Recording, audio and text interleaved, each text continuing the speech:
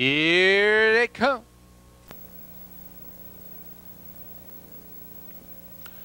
They're off from the outside. Sierra Good Night left extremely well. Hightail Mabel along the inside. Third off the gate will be Jean's Finale.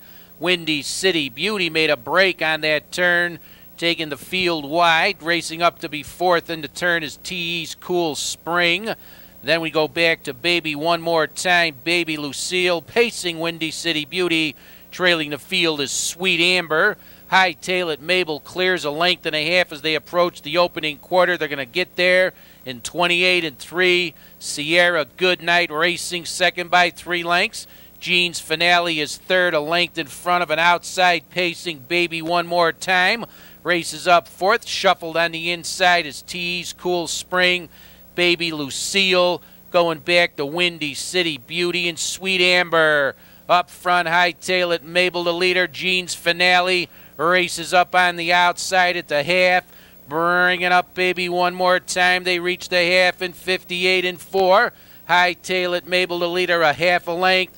Jean's finale races in second on the outside, baby, one more time. Down along the inside, Sierra Goodnight races fourth. To the outside, racing up, baby Lucille is fifth, covered up. Tease, Cool Spring, Sweet Amber. Shuffle at the end, Windy City Beauty. Hytailit, Mabel the leader a half. Jean's finale perched right outside of that leader at three quarters, racing second at 128 and three. Baby one more time gets third along the inside. Up front, Hytailit, Mabel clears. Baby one more time made a break on the turn. There is a spill on that turn.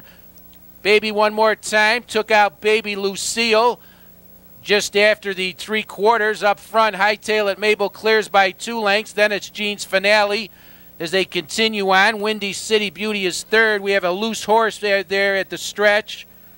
Number six, Baby Lucille. There's a loose horse at the paddock turn. The mile is 158 and 3.